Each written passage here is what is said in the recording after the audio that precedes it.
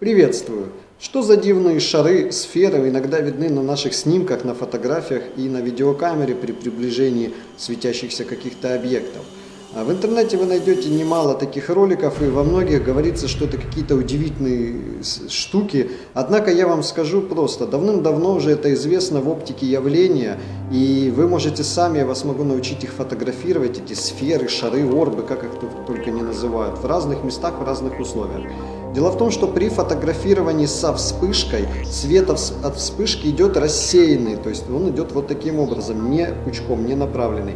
Если фотоаппарат фокусируется, например, на объекты, расположенные от вас в 5 метрах, да, вот, например, в 2 метрах, это комната или на улице деревья, кусты, и вы фотографируете со вспышкой, то, например, деревья, кусты четкие, да, то есть а, на них линза в данный момент объектив сфокусирован.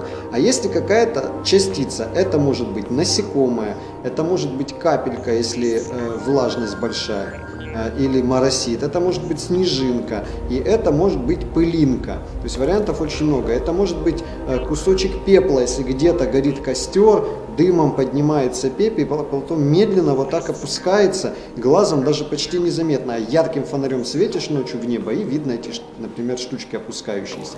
Вот получается вы фотографируете со вспышкой, сфокусирован объектив на дальние предметы, а близкий не в фокусе. Если здесь вот такая частичка появляется и, на ней, и освещается вспышкой, от частицы отраженный свет, рассеянный, э, на кадре, на фотографии создает вот этот круг, эту сферу.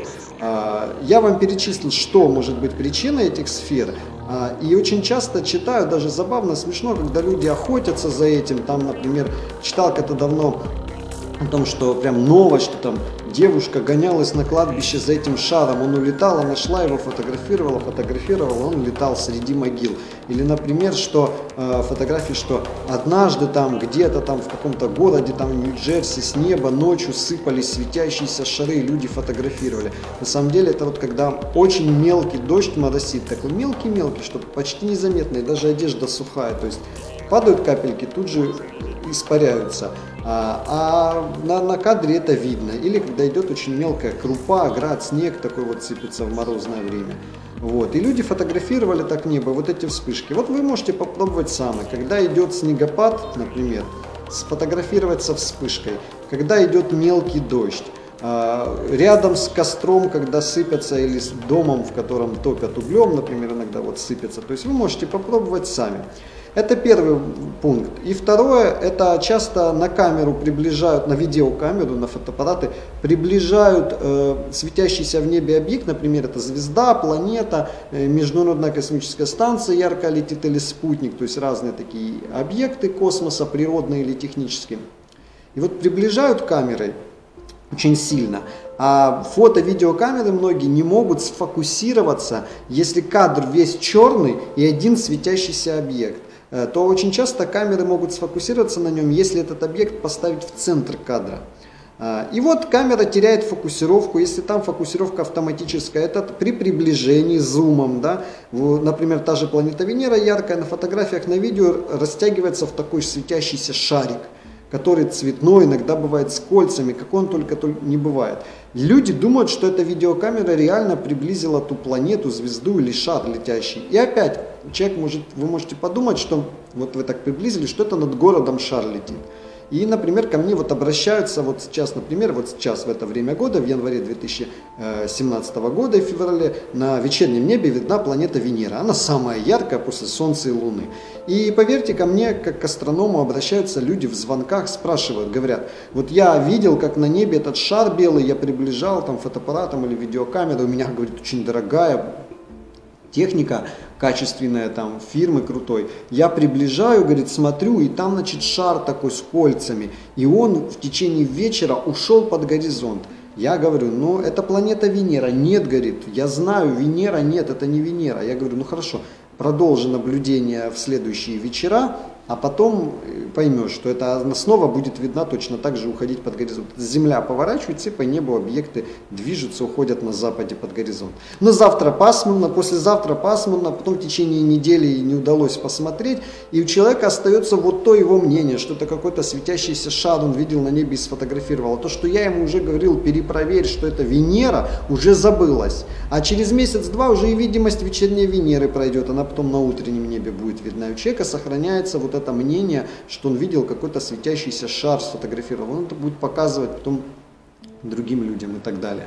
То есть э, вот такие дела. Иногда люди э, воспринимают самолеты, э, которые заходят на посадку, э, тоже издалека, над городом, например, над аэропортом, э, воспринимают это и снимают на камеру как цепочку светящихся, летящих, быстро мчащихся по небу шаров. Опять же, когда самолет заходит на посадку, он включает яркие огни, ну как фары впереди, да, и эти огни издалека, он может делать повороты перед посадкой, они издалека над горизонтом видны как две ярких точки. А уже когда самолет в такой плоскости, что э, он низко над землей, то не видно вот этих мерцающих цветных огней. А вот эти два ярких, они так появляются, потом пролетает он, они исчезают, потому что он повернул в бок и пошел на посадку.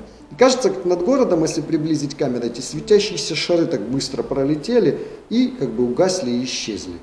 То есть вот тоже такой случай, когда к нам значит, в планетарий обратился человек с такой видеозаписью, когда я спросил, где он это снимал, где он находился и в каком направлении горизонта это велась съемка на камеру, то это было направление на Харьковский аэропорт там, где как раз поворачивают, заходят на посадку самолеты. То есть вот такие тоже были случаи у меня в практике такие вот. Я, конечно, не спорю, что могут быть какие-то таинственные вещи, что могут быть какие-то светящиеся шары, плазмоиды, вот как, например, шаровая молния, наука ее не отрицает. Э, изучить очень сложно, редкое событие, но уже в лабораторных условиях давно э, ученым удается воссоздать шаровую молнию. Но как это в природе, это вот очень интересно. Поэтому, конечно, несомненно, тайны загадок еще очень много, но разбирайтесь, будьте исследователями, не, окон... не оставайтесь на окончательном каком-то своем утверждении, мнении уже, э, потому что вы можете ошибаться, и от этого лучше вам не будет, если вы будете исключительно придерживаться своего мнения и от него не отходить ни, ни на край. Вот. Поэтому исследуйте, будьте исследователями. Э, и желаю вам все-таки видеть интересные вещи, делать свои маленькие большие открытия. И посмотрите у меня остальные видео на канале. Не прощаюсь.